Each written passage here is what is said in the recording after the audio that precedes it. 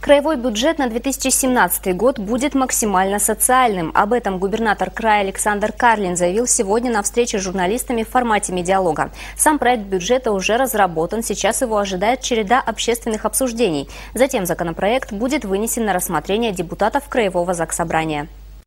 Мы сохраняем все наши социальные обязательства –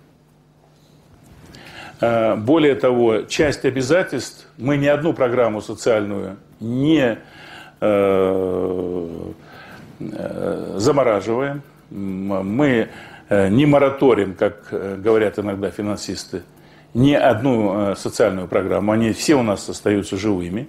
Более того, ряд социальных выплат, в первую очередь связанных с оплатой коммунальных услуг, предполагается Э, увеличивать в пропорциях, соответствующих росту э, коммунальных платежей.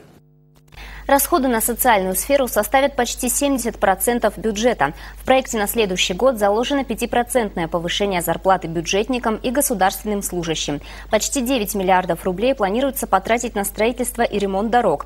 Новых налогов на краевом уровне вводиться не будет, однако ужесточится контроль за их сбором. Основным налогом, наполняющим краевую казну, остается налог на доходы физических лиц. Поддержка федерального центра прогнозируется на прежнем уровне. По словам губернатора, в проект бюджета еще будут вносить вноситься замечания и предложения. Депутаты Краевого парламента рассмотрят его в первом чтении на ноябрьской сессии в конце месяца. По статейно рассматривать проект бюджета они будут в декабре.